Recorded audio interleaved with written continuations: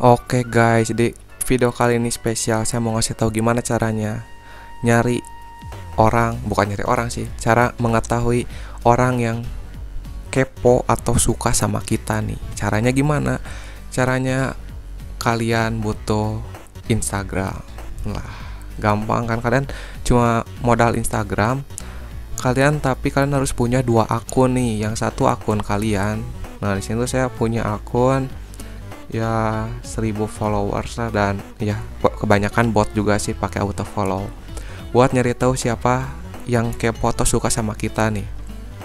Terus kalian juga harus punya akun tumbal kalian nih. Saya udah bikin akun tumbal saya Luciana Angelica namanya. Soalnya di sini nanti akan kita pakai buat pura-pura jadi pasangan kita. Karena saya laki-laki saya jadi bikin akun tumbal foto perempuan.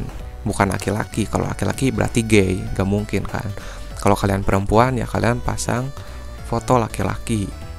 Kalau udah kayak gini kalian harus pasang dulu foto perempuannya atau foto laki-lakinya biar nggak kelihatan kayak akun bot nggak kayak akun tumbal kalian bisa cari di sini. Saya pakai seseorang namanya Natasha Gintantra. Nah Natasha ini juga pernah saya pakai buat pura-pura jadi pacar di uh, di WhatsApp jadi nama di WhatsApp gitu. Tapi nama sama foto-fotonya juga. Cuman ya jadinya nggak punya doi sampai sekarang ya. Ya bodo amat lah serah lah ya. Kalau udah kalian ambil foto-fotonya terus kalian pakai uh, kalian boleh pakai beberapa dijadiin feed jadi postingan. Dan juga kalian pasang jadi foto profilnya. Terus kalian isi juga bionya biar nggak kelihatan tumbal ya. Kasih juga nama panggilan ke ke nama kita asli kita ya. Kalau udah di sini kalian bisa bikin status sekarang atau bisa nanti. Kalau di sini sih saya bikin status sekarang. Jadi saya udah bikin kayak uh, tulisan nih. Nah, lo ketahuan kepo. Jadi nanti ketika orang ngelihat di sini nih, kalian lihat ada teman kalian yang ngelihat uh, status ini, berarti orang itu suka sama kalian.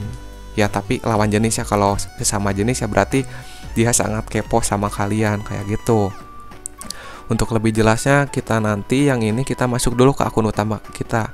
Kalau kalian udah bikin kayak gini dan sebelumnya follower sama pengikutnya juga jangan sampai nol ya. Di sini saya pakai auto follower bukan auto follower jadi penambah follower nih kayak gini. Kalian tinggal tulis saja follower nanti muncul banyak. Caranya gampang kalian tinggal ke mengikuti terus kalian tinggal follow follow aja semuanya nih nanti sampai beberapa lama nanti bakal ada nambah-nambah nih follower kalian tuh. Dan juga kalau udah kalian kurangin yang mengikuti kalian nih. Sekarang udah 22 banding 139 jadi ya lumayan lah ya nggak kelihatan tumbal banget. Kalau udah kayak gini kalian tinggal masuk ke akun utama kalian. Di sini kalian tinggal bikin uh, story aja nih. Nah sebelumnya kan uh, tadi udah bikin nih status yang di akun tumbal nih kayak gini nanti. Nah kalau udah ada yang lihat nah lo ketahuan kepo. Nah di akun utama kita kita tinggal bikin uh, status. Kita bikin kita uh, pasang fotonya. Ini saya udah ngambil dan dapat ini fotonya. Kalau udah kalian tinggal ke stiker nih kalian tinggal pilih polling. Nah di sini kalian isi uh, dia atau tidak dengan uh, akun IG-nya akun tumbal kita. Tadi itu namanya nah ini Luciana Angelica. Kita potong aja terus kita tempel di sini. Di tidak aja ya. Has, uh, add terus add uh, terus tempel. Nah kalau udah kalian tinggal sem uh, sembunyiin nih. Misalnya kita agak kecilin terus simpan di agak bawah pojok kiri bawah nih. Biar nggak kelihatan kayak polling tapi kayak ngetek seseorang lah kayak gitu ya. Kalau udah kalian bisa hias-hias. Misalnya saya kasih keterangan nih misalnya kak saya kasih caption uh, apa semangat belajar atau belajar terus lah belajar terus. Nah kalau udah misalnya saya kasih emot lope nih terus saya simpan misalnya di atas dihias ya biar nggak kelihatan bohongan gitu ya. Kalau udah terus misalnya kasih eh, kasih filter terus kasih misalnya saya punya efek kamera kan ini mah cuma nambah-nambah aja kan biar ada yang pakai efek saya gitu. Nggak juga sih. Iya juga sih. Eh maksudnya biar promosi juga lah. Kalau udah kayak gini kalau menurut kalian udah pas nggak perlu ditambah apa-apa lagi uh, apalagi misalnya kasih emot lope atau apa uh, gitulah misalnya hiasan nih. Nah udah kayak gini misalnya menurut kalian ah ini udah cocok lah udah cukup aman. Nggak kelihatan bohongan gitu. Kalau udah kalian tinggal kirim aja.